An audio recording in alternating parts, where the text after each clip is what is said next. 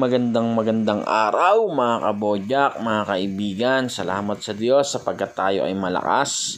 Sa mga pagkakataong ito mga kaibigan, medyo matagal-tagal pong hindi napag-upload ng video ang inyong lingkod sapagkat ako po ay narito sa isang probinsya kung saan ito po ay nasa Rizal uh, Kalinga Province. Ngayon po akin pong ipapakita sa inyo yung isang nilang specialty po dito mga kaibigan mga kabodyak yung native kuhol or suso or snail mga kaibigan. Yan po ang tawag dito. At tayo po eh naimbitahang magluto mga kaibigan sapagkat tayo nga po eh napasyal sa kanilang lugar. Kung ito po ay lugar ng aking misis ang Kalinga Province ito po yung kanilang isa sa pinaka paboritong uh, recipe, yung kohol. At ako na daw po ang bahalang gumawa ng aking recipe dito. Basta mapapasarap ko ito. Kaya po ito ay ating ia-adobo sa gata mga kaibigan, mga kabodyak. Sana po ay inyo pong subaybayan ang aking video ito sapagkat titiyain ko sa inyo mga kaibigan na ito ay atin pong mabibigyan ng magandang luto at masarap na luto. Mga kabodyak, mga kaibigan, yan po. Mag, maghapon at magdamag ng sumukan mga kaibigan kaya po siya ay malinis na. Ngayon po atin pa po siyang patuloy na lilinisin mga kabodyak, mga kaibigan. Yan po ay atin pong babrasin mga kaibigan isa-isa para po talagang matatanggal yung anyang mga uh, dumi-dumi mga kaibigan. Dahil masarap po yan sa pag ito po eh talagang malinis na malinis. Sapagkat native ito mga kaibigan ito po ay eh, napakalasa. Malasang malasa itong ang suso na ito mga kaibigan mga dahil ito po ay eh, galing sa kanilang farm. At ba habang tinutuloy ko ito shout out po pala sa aking Bilas or Aber sa Kalinga province na ito na si uh, Joel Alagado yung kumuha po ng suso na ito sa kanilang farm.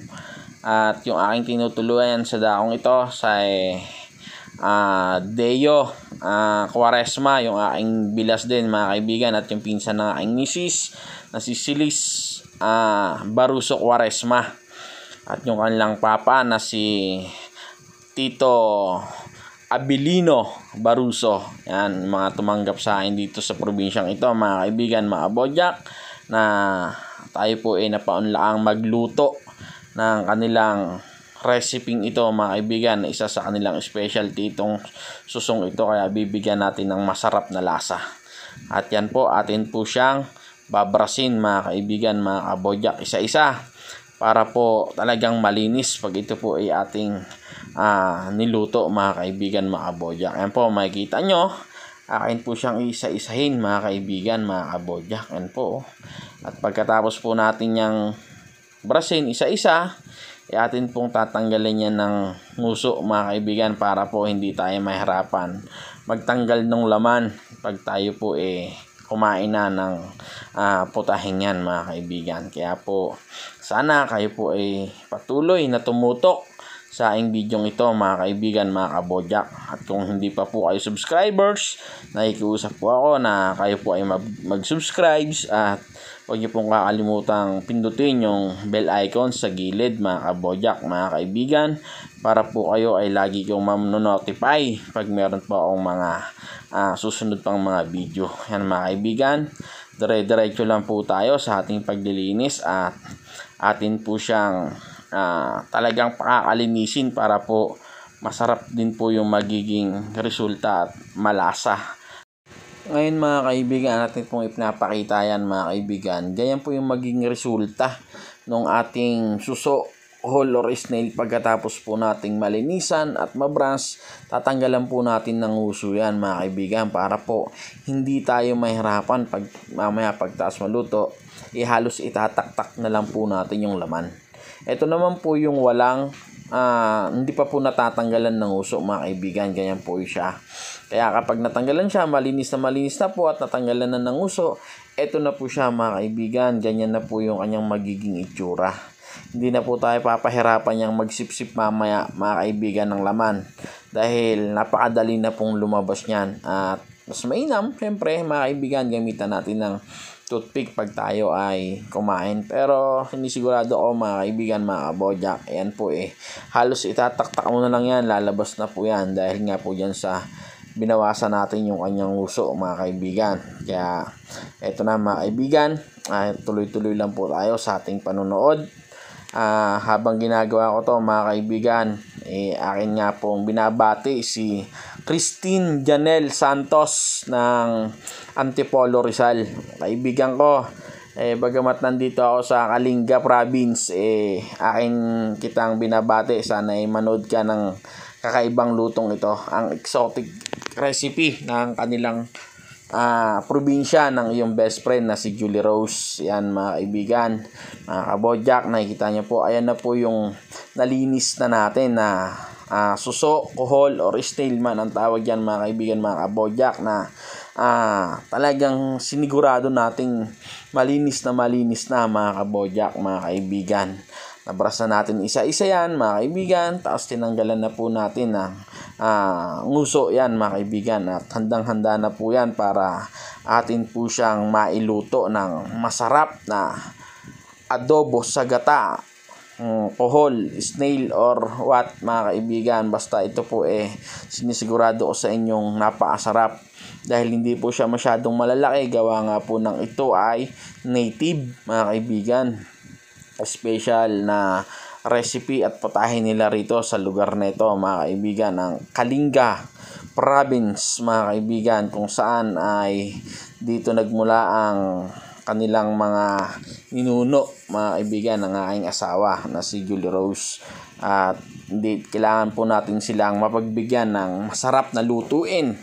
At talagang kanilang hanap-hanapin din mga kaibigan. Kaya po, tuloy-tuloy lang po kayo sa inyong panonood at sana po ay magustuhan ninyo ang putahing ito. Uh, pwedeng pwede nyo pong gawin yan kahit sa anong klase po ng kohol uh, or suso or snail ay pwedeng pwede nyo pong gawin itong aking ipapakita ang lutong ito mga kaibigan. Napakasimple lang po nito mga kaibigan ko. Kaya po kayo po ay tutok lang.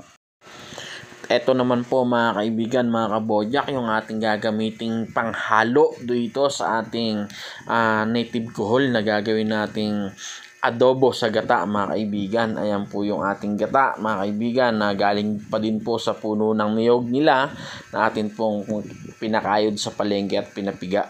Yan po yung ating kohol na nilinis. Kaya dito mga kaibigan, eh, ayaw nila ng maraming mga rekado. Kaya simpleng-simple lang po yung gagawin natin na pagluluto nito mga kaibigan. Yan lang po yung ating wok mga kaibigan. At nagsalang na po tayo ng mantika yan na mga uh, 2 to 3 tablespoon po yan mga kaibigan na uh, cooking oil mga kaibigan. At nilagay na rin po natin yung ating garlic na minced garlic mga kaibigan at yung ating onions na in-slice din po natin mga kaibigan. Kaya po sana po ituloy-tuloy lang kayo sa inyong panonood at inyo pong masaksihan yung uh, kanilang potahe dito na kanilang specialty daw po na uh, native na kohol mga kaibigan. Snail or what mga kaibigan natin pong bibigyan ng magandang luto mga kaibigan at mga kabojak yan po yung ating uh, luyang original at luyang dilaw mga kaibigan yan po nilagyan po natin ng luyang dilaw yan mga kaibigan para po magkaroon ng ah, absorb niya po yung ibang amoy ng kohol mga kaibigan. Yan po yung magbibigay ng magandang aroma doon sa ating ah, ginigisang kohol mga kaibigan mamaya. Kaya po, ayan po eh, simpleng-simple lang mga kaibigan mga kabodyak. Dito po kasi sa lugar na ito, sa Kalinga Province, eh, mas gusto po nila yung manghang kaysa sa maraming mga ah, pampalasa-palasa mga kaibigan. Yan po, nilagyan na rin po natin ng uh, ceiling green mga kaibigan, mga kabodyak. Pwede nyo pa rin po yung lagyan ng ceiling uh, pula mga kaibigan kung gusto niya po ng mas maanghang. Yan po eh, puro green lang po muna nilagay natin na galing sa kanilang puno rin mga kaibigan. Yan po, lalagyan po natin ng mga uh, 3-4 or mga 1-4 na tasa mga kaibigan ng soy sauce mga kaibigan. At yan po natin uh, ia-adobo ng bahagya yung ating kuhol, so, suso or yung snail natin mga kaibigan na native at saka po natin gagataan. Dito mga kaibigan, toyo lang po ang gagamitin natin, tsaka konting baking, tsaka yung gata. Yun na po yung magbibigay buhay at magbibigay lasa mga kaibigan dun sa ating gagawing adobong kohol sa gata. Yan mga kaibigan, no? Atin na po siyang uh, ia-adobo ng bahagya dyan mga kaibigan. Kaya po dito pa lang mga kaibigan eh meron na po siyang lasa dyan sa gawa po ng ating uh, soy sauce mga kaibigan. Yan po oh. at medyo mag-aagaw po yung tamis niyan at saka yung toyo niya medyo konting alat. Dahil po dun sa ilalagay nating uh, 3 cups of coconut milk mga kaibigan. At talaga pong kanila pa pong pinagpagurang uh, code ko rin mga kaibigan. At pinapiga na lang nila sa palengke para talagang solid yung gata mga kaibigan. Kaya po talagang napakasarap po niyan. Mamaya maya mga kaibigan ay inyo na pong makikita yung kanilang pinagmamalaking recipe. Kanilang putahe na special dito sa lugar neto na Kalinga province mga kaibigan ko. Yan po at tayo po ay napagbigyan magluto ng kanilang uh, specialty mga kaibigan ko. Kaya po atin pong gagawin yung pinakamabuting luto at pinakamasarap na luto para sa kanila. Yan po at habang tinutuloy po natin to binabati ko rin po yung aking mga kaibigan dyan sa Montalban Rizal. Mga kaibigan ko sa MS1 Maharlika Guardians Montalban. Mga kaibigan si Pebro Raipon Catalon Musta na dyan, aking kaibigan? Ayan na po, mga kaibigan, nilagay na po natin yung ating uh, solid na gata, mga kaibigan. Isang pigalan po yan, mga kaibigan, dalawang piraso na kanila pong pinapiga, mga kaibigan. Ay yan na po yung pinaka magbibigay ng manamis-namis na lasa doon sa pagkakaadobo ng ating uh, native na kohol mga kaibigan o suso or snail mga kaibigan at yan naman pong sili na yan ang magbibigay ng konting anghang doon sa ating uh, suso na yan mga kaibigan. Yan po mga kaibigan. Tuloy-tuloy po kayo sa inyong panonood at atin po yung iluluto dyan ng mga ilang minuto. Yan po, lalagyan lang po natin ng konting pangpalinamnam, no? Kahit po dito eh, naglalagay din sila ng kahit pa paanong kapirasong bechin mga kaibigan. Para naman po maganda-ganda naman po yung lasa ng ating niluluto mga kaibigan. Wala na pong kasi yan dahil may toyo na po siya. Konting bechin na lang po ang ilalagay natin para luminamnam ng kahit papaano yung ating uh, kohol mga kaibigan na niluluto natin sa gata na yan. Kaya po, yan po iluluto natin ng mga ilang minuto pa hanggang po sa medyo mag-reduce po ng konti yung kanyang sabaw.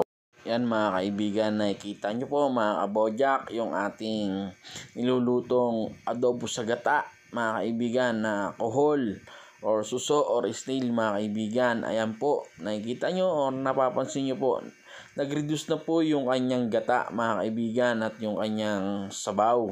Kaya po, okay na okay na po siya. Pwedeng pwede na po siya mga kaibigan dahil luto na po yan. Titikman lang po natin sandali at pwedeng pwede na po natin yang serve mga kaibigan dahil po eh the best na po yung kanyang lasa at okay na okay na panalong panalo na mga kaibigan at tiyak mapaparami rin kaibigan ang aking kain dito sa kanilang specialty ito mga kaibigan dahil tayo naman po eh hindi naman masailan kaya mapapakain din po tayo niyan mga kaibigan. You know, the best daw po yung lasa.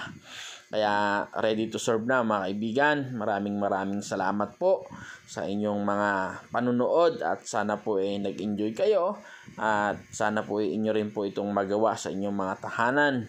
Uh, simpleng-simpleng lutuin sa mga ganitong klaseng putahe mga kaibigan. May konting pagka-exotic pero masarap po yan mga kaibigan lalong-lalo na po yung mga ganyang native dahil malasa po yung ganyang mga native na kohol mga kaibigan. Dahil at saka po yan malinis po yan pag sa farm po galing. Kaya napakasarap din po talaga yan mga kaibigan lalo na po kung inyong mag enjoy po kayo sa inyong pagkain yan mga kaibigan. Lalo na pag masarap ang pagkakaluto mga kaibigan Ito na nga po yung ating finished product ng ating specialty ng Kalinga province na native adobo sa gata mga kaibigan na native kuhol, suso or snail mga kaibigan mga kabodyak sana po ay nag-enjoy kayo sa inyong panonood at sa mga susunod po ulit na mga video ng Bojack Vlog. Maraming maraming salamat po sa inyo. God bless you all mga kaibigan, mga kabodyak. God bless you all.